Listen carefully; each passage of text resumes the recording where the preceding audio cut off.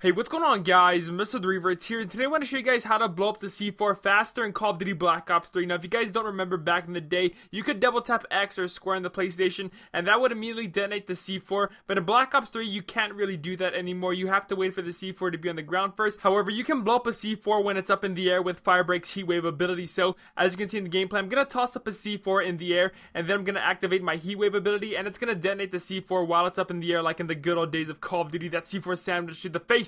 Now, I recommend doing this trick in Domination, Hardpoint, and Safeguard because those are probably the three game modes that you're going to get the most kills in. Also, one more thing to note is if you encounter a player that's running Flak Jacket, they're not going to die from the C4 blast, but you can still outgun them because they're going to be stunned from the heat wave, and you're pretty much guaranteed a kill from that. So, if you guys enjoyed today's video, drop a like and comment down below your thoughts. Also, guys, this entire week I'll be playing the Black Ops 3 DLC Eclipse, so if you guys want to play with me, then send me a message on the PlayStation or leave your gamer tags down in the comment section. I'll make sure to add you, and uh, let's have a good time, guys. Thank you for watching. I'm Averts. Have a good rest of the day. Till next time, I'll catch you guys later.